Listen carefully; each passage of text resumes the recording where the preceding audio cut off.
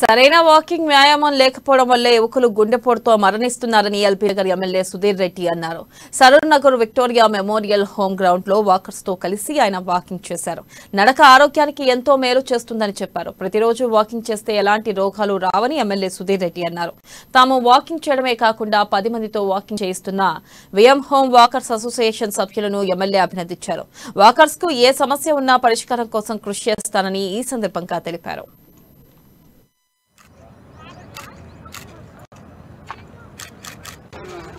పిఎంఓం ప్రాంతం ఈ ప్రాంతంలో చుట్టుపక్కల ఉన్న కాలనీ వాళ్ళందరూ కూడా వాకింగ్ అనువైన ప్రాంతం కొన్ని వందల మంది ఉదయాన్నే ఇక్కడికి వచ్చి వాకింగ్ చేసుకుంటా తమ ఆరోగ్యాన్ని పరిరక్షిస్తున్నారు.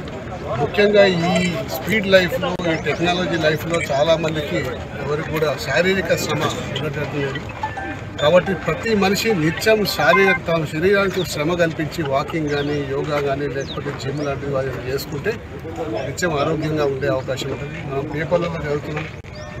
పన్నెండేళ్ళ పిల్లలకు ఇరవై ఏళ్ళ పిల్లలకు హార్ట్ అటాక్లు వస్తాయి ఈ మధ్యన. మరి ఇవన్నీ కారణం ఏంటంటే వాకింగ్ లేకపోవడం వల్లే ఈ- ఇవన్నీ కూడా